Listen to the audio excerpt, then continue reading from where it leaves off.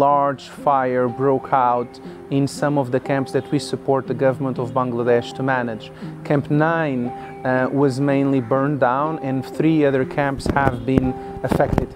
Uh, it's very unfortunate that we have almost 10,000 families without a shelter. This is equivalent to around 45,000 individuals that have lost all their possessions.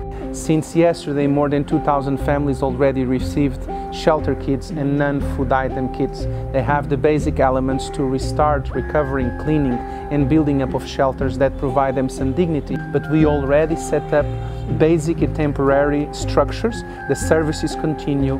Our machine and our commitment to the refugees have not stopped.